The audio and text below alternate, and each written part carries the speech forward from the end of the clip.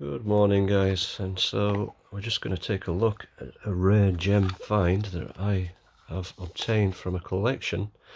And it's model number WAT 1415.BA0954 and it's a diamond pink and a lovely pink too. A lovely shade of pink. Uh, link ladies watch they are 43 millimeters here. So Roman numerals on the outskirt, the bezel. Just get that swirly pattern in there. Show you. Currently got the crown out, save on the battery.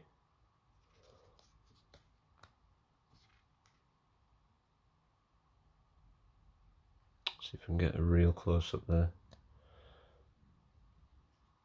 detailing. There we go.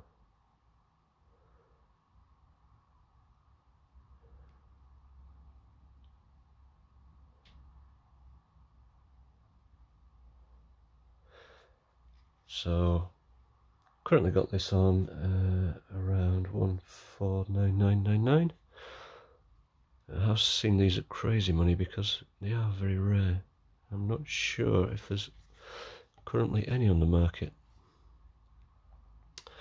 And they do kind of appreciate Tag Heuers if you keep them in good condition.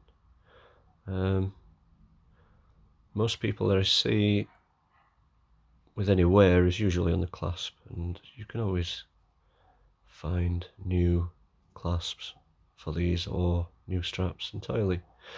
This has got the link strap, which not many people like, apparently, but uh, I think this is the last generation of the link, and it's much nicer than the first. I personally do like it.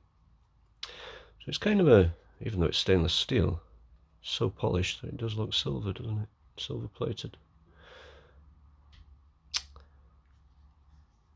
But yeah, lovely hidden clasp on these. and show you the back. There we go. Lovely example, not a mark on this one.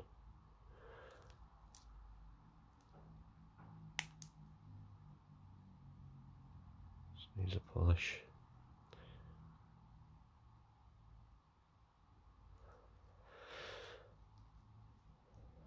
So there you go. That's what you should be buying for your lady at Christmas. But unfortunately, the ladies' watches aren't great sellers. The guys tend to treat themselves to their own first. Which I don't blame you.